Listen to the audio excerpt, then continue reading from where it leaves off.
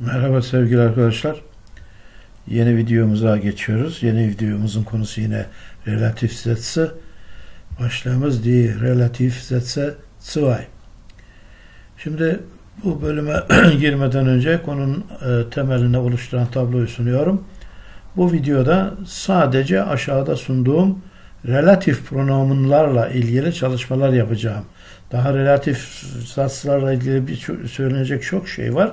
Burada konuyu bununla sınırlıyorum. Relatif pronomun çekim tablosunu görüyorsunuz şu anda. Dikkatle bakacak olursanız e, belirli artikelle ismin halleri tablosunu hatırlayanlar e, burada çok e, bunların birbirine benzediğini görecektir. Sadece şu kırmızı ile yazılan yerler farklıdır. Okuyorum. Der artikelli bir isme göre kullanacağımız efendim şeyler bunlar e, relatif pronomen diyoruz buna. Relatif zamirler yani. Bunlar artikel değil artık. Relatif zamir yani relatif cümleyi ilgili olan sözcüğe yani Bezugswort'a bağlayacak olan sözcükler der, dessen, dem, den. Diye göre, die artikelli bir isme göre, die, deren, der, die. Das artikelli bir isme göre, das, dessen, dem. Das çoğul olmuş bir isme göre di, deren, derer biçimi de var. Bunu sonra açıklayacağım. Çoğul datif bakın denen ve di. Geçiyoruz. Bunu ezberleyeceğiz. Masamıza yapıştıracağız. A. Was ist ein Relativsatz? Relatif cümle nedir? Önce bunu bir kavrayalım. Relatif Satz bir yan cümledir yan cümle deyince aklımıza gelecek olan şey bu yan cümlenin başında bir bağlaç olur. Yüklem sona gider. Yüklem tabi bir kelimeden de oluşabilir. Birkaç kelimeden de oluşabilir. Çekilen fiile biz yüklem diyoruz. Çekilen on son, en sonda olmak üzere bütün parçalarıyla bir, birlikte fiil sona gider. Bunun istisnaları var. Yeri gelince anlatılacak. E, hemen acele etmeyelim. Bu yan cümle temel cümledeki bir şey ile eşya olabilir, kavram olabilir. Yer, yön, konu, durum ve benzeri bir şey olabilir. Veya bir kişiyle yani insanla veya insanlara verilen meslek adlarıyla, insanların e, sahip olduğu meslek adlarıyla, kendi adlarıyla ilgili olup onu tamamlayan, onun anlamını genişleten bir işlevi yerine getirir. Bu şey ya da kişi genellikle ya isim ya da zamir türünden bir sözcük olur. Relatif cümleler bazı özel durumlar hariç bunları da birkaç sayfa sonra açıklayacağım. İlgili oldukları sözcüğün hemen sağında yer alırlar ve ondan bir virgülle ayrılırlar. Relatif cümle temel cümlenin içinde kalırsa relatif cümlenin bittiği yere de virgül konur. Beispiel. Şimdi aşağıdaki iki cümleye dikkatle bakalım. Birinci cümlemiz der Junge ist mein Bruder. Delikanlı benim kardeşimdir. Bunun anlamı bu. İkinci cümle der Junge sitzt unter dem Baum. Delikanlı ağacın altında oturuyor. Şimdi bu iki cümleyi bir relatif zatsla bağlıyoruz. Der Junge, der unter dem Baum sitzt, liest ein Buch. Geçelim. Şimdi yukarıda belirtilen kuralları birkaç say yani sayfa önce belirtilen kuralları bu cümlede tek tek görelim ve nasıl bir anlam verdiğine bakalım. Cümleyi okuyorum. Der Junge, der unter dem Baum sitzt, liest ein Buch. Ağacın altında oturan delikanlı bir kitap okuyor. Şimdi şu yeşil kutunun içine önce bakalım. Bu derle başlıyor. Bu neymiş? Bağlaç görevi yapıyormuş. Dil bilgisindeki adı ne bu sözcüğün? Relatif pronomen. İşte relatif pronomen, relatif cümle bir yan cümledir dedik ya, yan cümlelerin başında bir bağlaç olacak illaki. Bu relatif pronomen bir bağlaç görevi yapıyor. Burası bir relatif zat bu yeşil kutunun içinde kalan kısım. Bu relatif cümleyi neye bağlıyor bu der sözcüğü? Der Junge'ye bağlıyor. Bu daha önceki videoda söyledim. Bezugswort yani relatif cümlenin ilgili ya da bağlı olduğu sözcüktür. Ve temel cümlenin öznesi burada. Temel cümlenin tümleci de olabilirdi. Relatif cümlenin bağlı olduğu sözcük. Şimdi şu kırmızı kutuya baktığımızda büyük kutuya buranın tamamı subjekt yani şu cümlenin öznesi. Temel cümle der Junge liest ein Buch. Bu temel cümlenin öznesi de der Junge. Bileşik cümlenin öznesi de der Junge ile birlikte bu relatif zatstır. Yani şu kırmızı kutunun içinde kalan bölümün tamamı temel cümlenin öznesi olmuştur. Relatif zats burada subjekti açık tamamlayan, onun anlamını tamamlayan, genişleten bir yan cümle işlevindedir. Ağacın altında oturan delikanlı demek burası. Burası da bir kitap okuyor yani özne bitti. Birinci sırada birinci kelime demiyoruz özneye değil mi? Bir cümlenin ilk sırasında yer alan öğeye özne denir. Bu özne abartıyorum yüz kelimeden de oluşabilir. İşte bunu ayırt edebilmek lazım. Yani Türkçeden de dil bilgisi konusunda yeterli olmamız lazım bunu kavramak için. Şimdi bu cümlenin Türkçesini inceleyelim. Ağacın altında oturan delikanlı bir kitap okuyor. Bizim Türkçe cümleye baktığımızda ağacın altında oturan delikanlı kısmı sıfat tamlamasıdır. Öznedir ama sıfat tamlaması şeklinde bir öznedir. Bizde relatif cümle yok. Bizde bunu sıfat tamlamasıyla ifade etmişiz. Peki nasıl olmuş da bu sıfat tamlaması olmuş? Oturan sözcüğünden hareket ediyoruz. Bu bir fiil değil mi? Oturmak fiilinden geliyor. O halde bu sıfat tamlamasının tamamı bizim cümlemizin tamamının öznesidir. Almanca cümlede relatif cümle cümlenin tamam relatif cümleyle birlikte Bezugswort dahil olmak üzere cümlenin öznesiydi. Burada sıfat tamlaması şeklinde Türkçe'de cümlenin öznesi işlevini yerine getirmektedir. Bu Türkçe cümledeki oturan sözcüğü oturmak fiilinden türetilmiş ve bir ortaç deriz biz buna sıfat olarak kullanılmıştır. Yani bir fiil alalım gelmek gelen adam dediğimizde gelen sözcüğü artık ortaç olmuştur. Yani sıfatlaşmıştır ve bir isimde kullanılınca bir sıfat ona bir sıfat tamlaması deriz Türkçe'de. Aynı şeyi Almanca'da da yapabileceğimizi particip bir ve particip zwei yani başlığı altında işlemiştim. Lütfen oraya bakalım. Oturmak sitzen, oturan sözcüğünün Almancası sitzend sonuna D getirdik. Bu hep böyle yani particip eins şeklinde sıfat elde etmek e, fiilin master halindeyken sonuna D ekleyerme, eklemek suretiyle e, gerçekleştiriliyor. Şimdi bunu Almanca'da demin relatif cümle olarak verdiğimiz kısmı sıfat tamlaması biçiminde de verebiliriz Türkçe'de olduğu gibi. Değerle Junge'yi birbirinden biraz uzaklaştırırız. Arasına bunu getirdiğimiz zaman olur. Sıfat tamlaması Almanca'da da. Buna Almanca'da adjektif deklinasyon diyoruz. Der unter dem Baum sitzende Junge. Ne oldu bunun anlamı? Ağacın altında oturan delikanlı oldu. Burası cümlenin öznesi. Türkçe'de de sıfat tamlaması şeklinde cümlenin öznesi olmuştu. Almanca'da da sıfat tamlaması şeklinde cümlenin öznesi olur. Bu şekilde de kullanılabilir. Hani Almanca daha önce öğrenmiş olanlar hocam ya hep relatifleme o. Hayır efendim sıfat tamlaması biçiminde de olur da bizim şu andaki konumuz sıfat tamlaması değil. Bizim konumuz bu anlamdaki bir cümleyi Almanca'ya nasıl çevireceğiz? Devam ediyoruz efendim.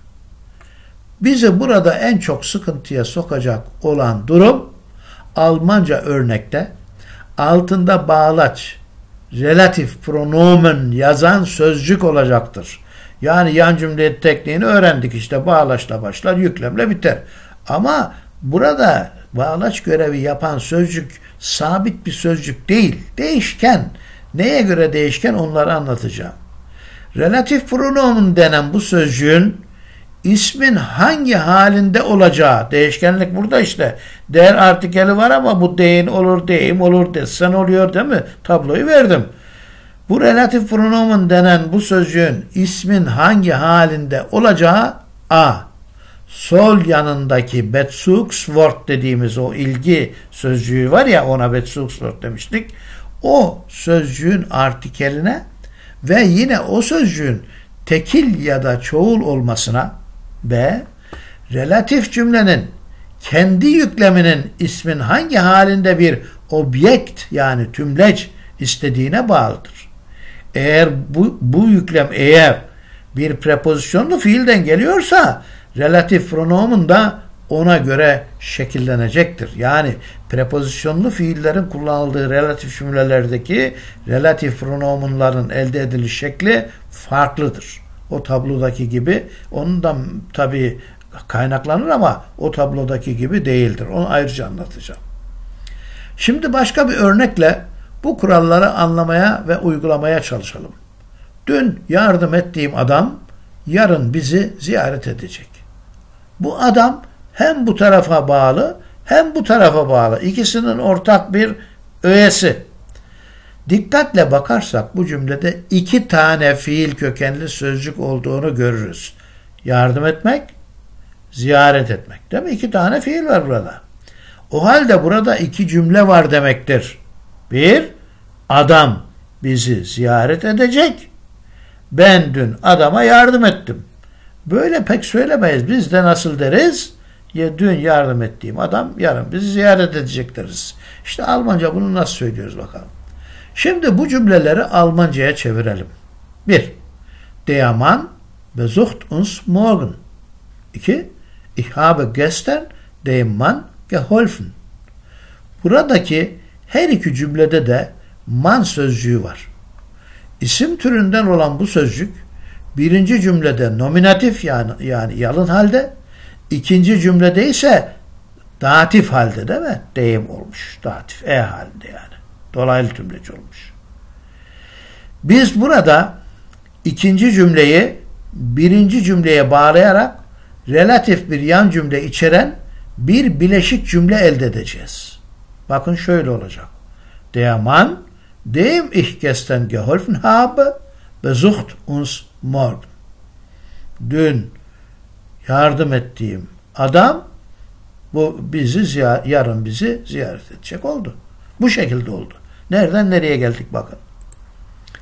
Buradaki relatif pronomen neden dem oldu? A. Çünkü bu cümlede relatif cümlenin bağlı yani ilgili olduğu sözcük yani Bezugswort artikeli der olan derman sözcüğüdür. Ve bu sözcüğe bağlanacak olan relatif cümledeki fiil ise helfen'dır. Ve helfen fiili datif isteyen bir fiildir. O halde bağlaç görevi üstlenecek olan relatif pronomen datif halde olmak zorundadır. D artikelli isimlerin datifi deyim olduğu için relatif pronomen deyim olmuştur. Benzer durumdaki cümleleri Almanca olarak ifade edeceğimiz zaman önce bu cümleyi Almanca dil, mal, dil mantığına göre bir şekle sıraya sokmamızda bu komik gelebilir söylenince de bakın şimdi vereceğim örneği fayda var. Bunu iki şekilde yapabiliriz. Yani başlangıçta Almanca'ya ısınma hareketine girdiğimiz şu günlerde böyle bir yöntemden yararlanabiliriz. Şöyle diyeceğiz. A. Dün kendisine yardım ettiğim adam yarın bizi ziyaret edecek. Kendisine sözcüğünden yararlanabiliriz. Ve adam ki ona ben dün yardım ettim, yarın bizi ziyaret edecek. Benim tavsiyem B şeklindeki uygulama olacak. Bunu yalnız açıklayacağım şimdi.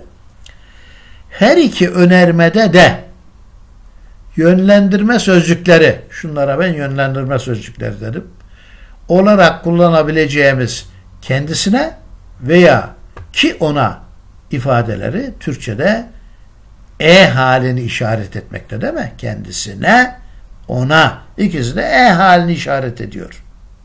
Biz bu şekilde bağlaç olarak kullanacağımız relatif pronomunun datif halde olması gerektiğini tespit edebiliriz etmesine de ama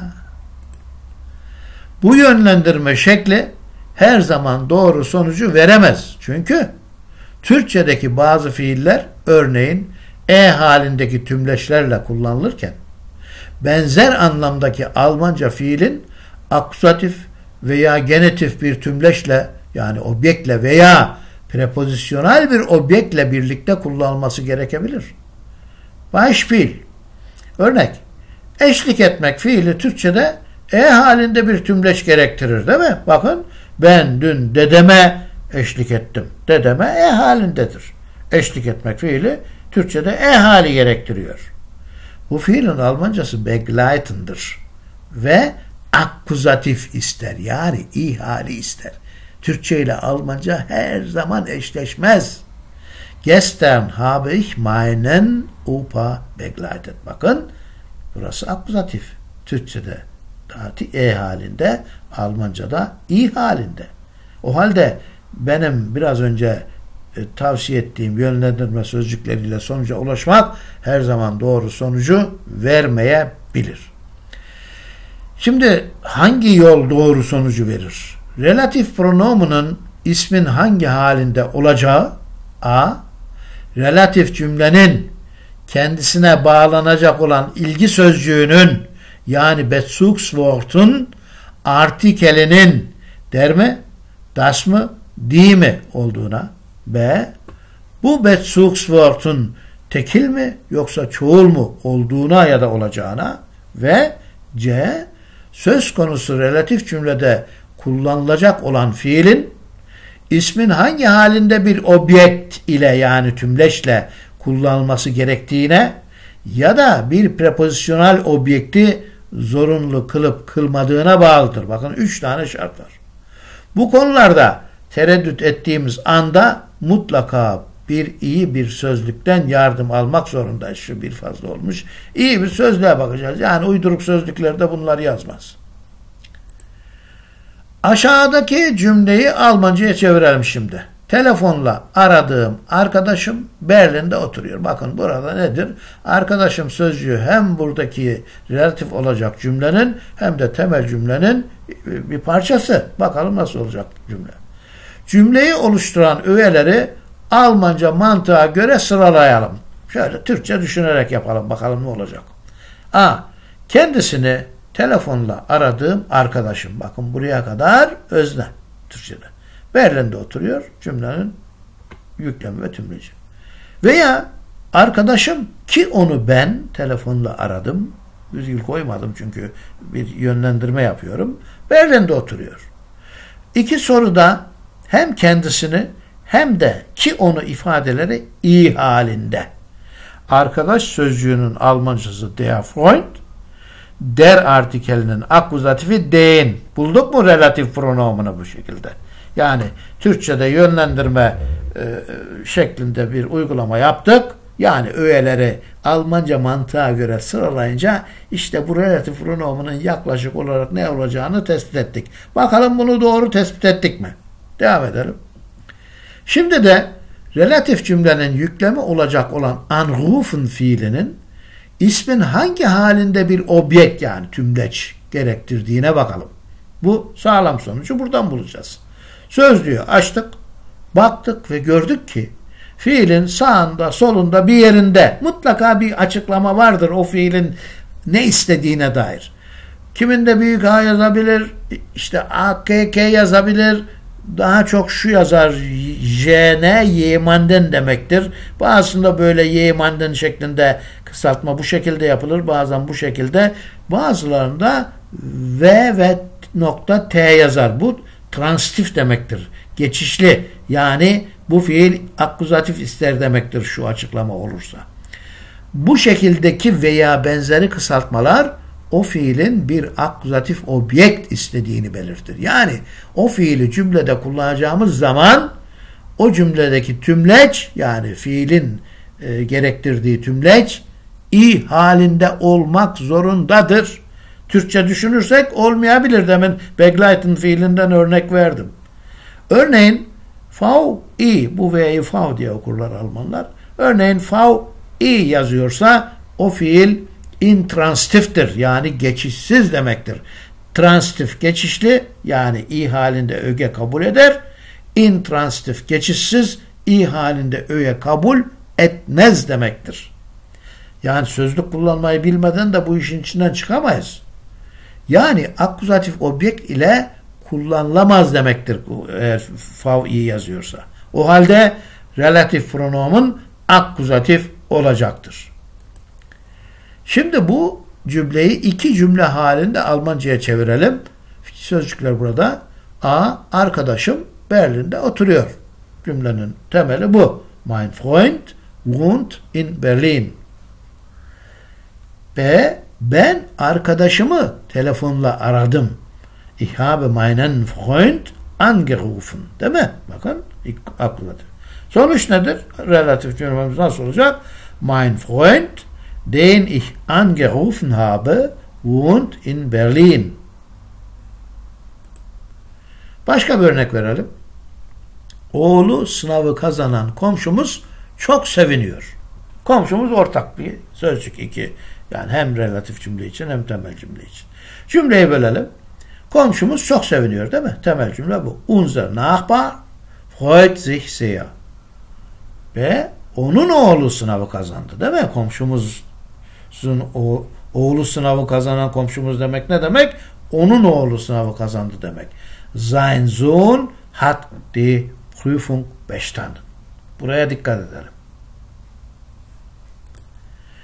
Relatif cümle olacak olan ikinci cümlemizin öznesi üçüncü tekil şahsı işaret eden bir iyelik zamiri olan iyelik zamiri benim senin onun var ya onu kastediyor. İyelik artikeli diyoruz biz ona Almanca'da. Ve bir erkeği kasteden sein olmuş değil mi? Sein onun demek. Bu önemli. Demek ki burada üçüncü şahsı işaret eden bir iyelik zamiriyle kullanılmış oradaki relatif cümlenin e, bağlı olacağı, ilgili olacağı sözcük. Bu iyilik artikeli iyi onun şeklinde bir bayanı da kastedebilirdi. Veya çoğul iyir yani onların anlamına gelen çoğul iyiri de kastedebilirdi. Bunları da ayırt edeceğiz. Almanca'da onun iki tane, onların bir tane. Bu üç sözcük çok önemli bu konu için. Böyle durumlarda tereddüt etmeden relatif pronomun genitif halde olacaktır. Demek ki ilgi sözcüğü üçüncü tekil veya çoğul şahıstaki bir iyelik artikeliyle birlikte kullanılmışsa onun kastettiği relatif cümlenin başında olacak bağlaç gibi gördüğümüz sözcük genitif olacak. Tabloya bakacağız. Şöyle de düşünebiliriz. Bu neden genitif olacak? Komşumuz çok seviniyor. Unser Nachbar freut sich sehr. Komşumuzun oğlu sınavı kazandı. Bakın onun oğlu demedik, komşumuzun oğlu dedik.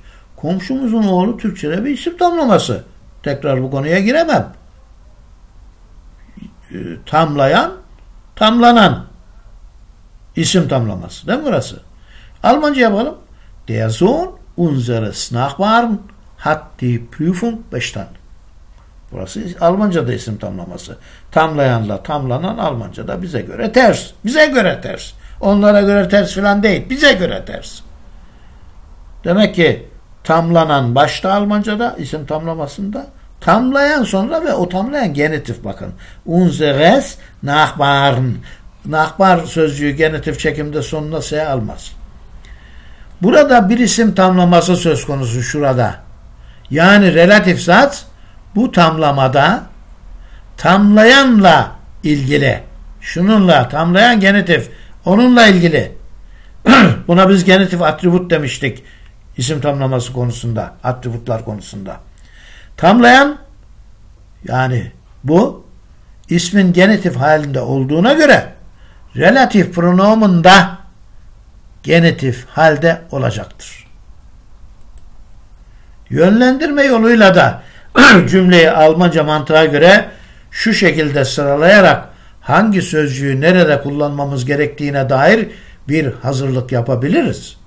Komşumuz ki onun oğlu sınavı kazandı çok seviliyor. Tabii komik bir cümle gibi gelebilir ama bu başlangıçta size yüzde 70-80 doğrulukta e, bir sonuca götürür. Şimdi cümlemizi kuralım. Unser Nachbar, dessen Sohn die Prüfung bestanden hat, freut sich sehr. Darüber desek de olur demesek de olur. Nachbar sözcüğünün artikeli der. Relatif pronomun deklinasyon tablosuna bakarsak ilk başta verdiğim tabloya der artikelli isimlerin genitif hale göre relatif pronomun şeklinin dessen olduğunu görürüz. Tablo önemli ezberleyeceğiz. Şunu asla unutmayacağız. Relatif pronomunlar her zaman relatif cümlenin ilgili olduğu sözcüğün artikeline bu sözcüğün tekil ya da çoğul olduğuna ve relatif cümlenin yüklemini oluşturan fiilin ismin hangi halinde bir objekt istediğine göre belirlenir ve kullanılır. Bu fiil bir prepozisyonel objekt de gerektirebilir. Bu da önemli. Bunu daha önce maddeler halinde verdim birkaç sayfa önce. Yani bu minik sözcükler, relatif pronomen dediğimiz bu minicik sözcükler kendilerinin saat yanında bulunan hiçbir sözcüğün bir parçası değildirler. Bunlar hep sol taraflarındaki sözcükle ilgilidirler. Sağ tarafla pek yani kelime olarak ilgili değil ama e, şekil olarak ilgilidir. Ne, nedir o şekil? O sağ yanındaki relatif cümlenin fiiline bağlı olarak şekillenirler. O ayrı. Verdiğim örneklerin neredeyse tamamında Bezugswort olarak der artikel isimler seçtim. Çünkü der artikelinin ismin dört halinde de çekimi birbirinden farklıdır ve acaba sorusuna yer bırakmaz. Tabloya bakın farkı görün. Relatif cümle temel cümlenin tamamı bittikten sonra da yer alabilir. Eğer yüklemi oluşturan fiilin bir parçası bu örnek olabilir, particip perfect biçimindeki bir kullanım olabilir, ikinci mastar yani mastar olabilir açıklayacağım. Ve benzeri bir şey olabilir. Daha aklıma gelmeyen bir sürü şey olabilir. Relatif cümlenin sağında tek başına izole edilmiş bir şekilde kalacaksa bu durumda relatif cümle temel cümle tamamen bittikten sonra da yer alabilir. Bunlara örnek vereceğim. Şimdi örnek veriyorum. Bu ne demek? A. Ayrılan ön ekli bir fiilin ön eki relatif cümlenin sağında izole edilmiş durumda kalıyorsa birinci örneğimiz bu. Freiburg'da oturan amcamı telefonla arayacağım diye bir cümle kuracağız. Telefonla aramak fiili anrufen yani ayrılan önekli bir fiil. Bu önünde oturmak. Şöyle dersek güzel olmaz. Ich rufe meinen Onkel, der in Freiburg wohnt, an. Yani önek burada bu kırmızı yer bittikten sonra cümle sonuna atılacak örnek. Bu şekil pek güzel bir ifade tarzı olmaz. Hangisi olur? Şöyle dersek daha güzel olur. Ich rufe meinen Onkel an. Bakın temel cümle bitti. Meinen Onkel'a işaret eden relatif cümle bu bittikten sonra söylenebilir diyoruz. Der in Köln wo. Burada anlatılmak istenen bu. B. Perfect, plusquamperfect, veya futur sıvay olabilir. Daha bir sürü şey olabilir. Böyle bir e, zamanlardaki ya da anlamlardaki cümlelerde yüklemin particip kısmı vardır bir tane. Şu gegangen, gekommen, gemak, geholfen gibi particip kısmı olabilir fiilin. Ne zaman? Perfect, perfect ve, ve benzeri zamanlarda bulunan cümlelerde. Ve bu particip perfect kısım relatif cümlenin sağında izole edilmiş durumda kalıyorsa o zaman relatif cümle bitince bunları söylemek yerine bunu temel cümlede kullanacağız. Sonra relatif cümleyi söyleyeceğiz. Örnek. Freiburg'da oturan amcamı telefonla aradım. Şöyle dersek güzel olmaz. Ich habe meinen Onkel, der in Freiburg, şurada in olacak, wohnt angerufen dersek bu angerufen burada izole edilmiş şeklinde tek başına kalır biraz anlamayı güçleştirebilir.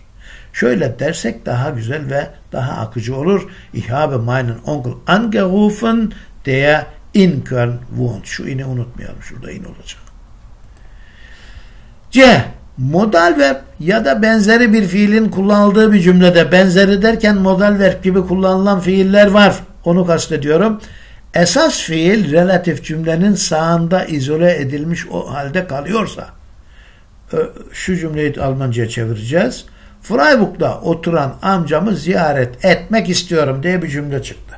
Şimdi ziyaret etmek ve istemek var değil mi? Almanca'da istemek burada möchten o mögen yani aslında da möchten var fiil diye bunu da bazen söylüyoruz. Şimdi bu modal verb olunca cümlede esas fiil sonra master olarak gider değil mi? Bakalım böyle nasıl oluyor. Ich möchte meinen Onkel, der in Freiburg wohnt, besuchen. Burada anlamı e, biraz bozar gibi durabilir. Güzel bir ifade olmaz. Ama doğrudur cümle. Ama daha güzel ifadesi şöyledir. Ich möchte meinen Onkel diyeceğimize Freud demişiz. Ich möchte meinen Onkel diyelim. Besuchen, der in Freiburg wohnt. Bu da bu şekilde çözülmüş olur. Şimdi alıştırmalara geçiyoruz. Video uzamasın diye ben bunları defalarca kontrol ettim ama yanlışlıklar olabilir. Yani dalgınlıkla yapılan yanlışlıklar olur. Yoksa bilerek yapacağımız bir yanlış yok. Burada tuş hatası olabilir vesaire. Bunlara dikkat edelim. Okuyup vakit kaybetmeyelim. Bayağı alıştırma verdim. Çünkü bu bölümü anladığımız zaman diğerlerinde pek fazla e, gramer ayrıntısına yani laf e, ço çokluğuna geçmeyeceğim. E, direkt anlatacağım. Bunlar Türkçe zaten. Altında sözcükler var. Kontrol ettim. Artikellerde filan yine de yanlış falan yazmış olabilirim. Bakın araştırın. Hatayı bulmak öğrenmenin belirtisidir. 15 20 tane burada alıştırma var. Çok önemli bu alıştırmalar. Bunların mantığını anladığımızda bu çözümlere de baktığımızda efendim 15-25 taneymiş bakın. Efendim e, bu işi kavramışız demektir. Çözümler burada tek tek bulunuyor. 10 tanesi burada. 20'ye ulaştı bu sayfada. İşte 25 tanesinin çözümü de burada. Efendim bunlara bakalım. Bunları videoyu yavaşlatalım, durduralım, defterimize geçelim. Yazarak çalışalım. Hani ben bu video uzayınca bir karım falan yok çünkü ben bu işten para falan aldığım yok. Sanmayın ki hocam o böyle ettiriyor da para kazanacakmış da aklına gelme. Şu anda para falan aldığım yok. Bilmiyorum ileride ne yaparım. İkinci alıştırmamız burada. Ne diyor? Önce bunları ha, önce şu boşlukları dolduracağız. Sonra bu cümleyi Türkçe'ye çevireceğiz. Burada istenen bu. Bu da sanırım 10 tane. Evet 10 tane burada var. Bunlar da güzelce dediğim gibi çözeceğiz. Üçüncü bunların çözümleri bu alıştırmanın hemen arkasında. Üçüncü bir alıştırma var. Burada da iki ayrı cümleyi birleştirme çalışması var. Bu da çok önemli. Bunu da dikkatle ve özlenerek yapalım. Örnek burada nasıl yapacağınızın yolunu burada gösteriyorum. Devam ediyoruz. Cümleler burada. 8 taneymiş. Çözümleri vermedim. Bunu siz yapacaksınız. Belki daha sonra yorumlara çözümleri veririm. Evet oldukça uzun bir video oldu ama konunun bölünmemesi için böyle olması gerekiyordu. Bir sonraki konumuz yine relatif ise bu sonraki videoda içinde prepozisyonlu fiiller yer alan relatif cümlelerin Bezugswort'a nasıl bağlanacağını ayrıntılı olarak sunacağım. Dinlediğiniz için teşekkür ederim. Hoşçakalın. Üye olmayanlar lütfen üye olsunlar. Üyelerimin beğeni ve yorumlarını da bekliyorum.